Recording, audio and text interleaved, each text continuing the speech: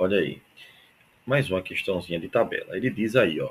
Gás nobre, qualquer outro átomo querendo elétrons, elétrons. Pessoal, lembra que gás nobre é a família o quê? 8A. A família 18, 8A, né? Que é a família, lembra? Olha ela aí, ó. Hélio, neônio, argônio, criptônio, xenônio. Não é isso, pessoal? Que a gente brinca, né? Que é Hélio negou, arroz e carla xerém e tal. Aí veja, aí ele diz assim: quem é gás nobre tem o quê? Tem o octeto completo. O que é isso? A última camada completa. A última camada completa, O que é 8, né? quer dizer que tem oito elétrons na última camada, com exceção de quem?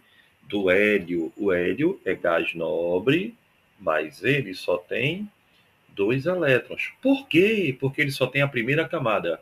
E a primeira camada, ela só cabe dois elétrons. Aí ele bota, na figura podemos notar a imagem de um guerreiro gigante representando um gás nobre que possui guerreiros menores aos seus pés.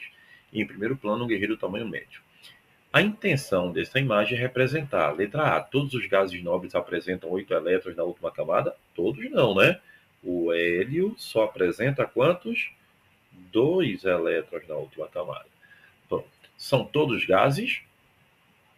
Oxê, claro, né? Gases nobres são todos o quê? Gases Oxê.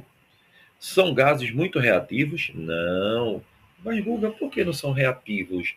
Porque se eles já têm a última camada completa, eles não vão mais reagir com ninguém, eles já estão em paz. Apresentam no mínimo oito elétrons? Não. E letra E podem ser líquidos na temperatura ambiente? Hum, não.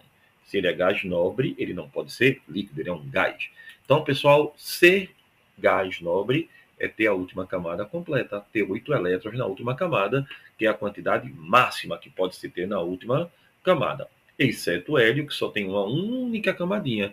Então, só cabem dois. O hélio só tem dois. Legal? Beijo.